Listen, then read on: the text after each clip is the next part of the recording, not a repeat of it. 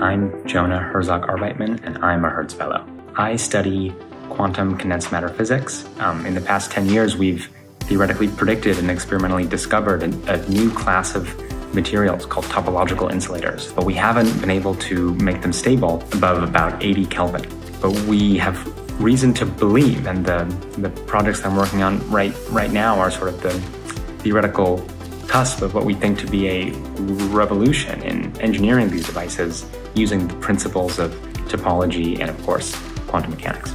You see an electron split and you say, here's the math that helps you understand how that's even possible. I think having um, taken inspiration from people like Bohr and Schrodinger um, has never been more important as we look for the next you know, leap of faith that um, will take us from the quantum mechanics of the last hundred years to that of the next. When I found out I won the Hertz, If you're applying to the Hertz, it means you love a good problem. They're fun, they're challenging, they're even surprising. And those are the kind of things that you'll want to explain to your interviewers, but you'll want to do it in a way that has some maturity to it as well.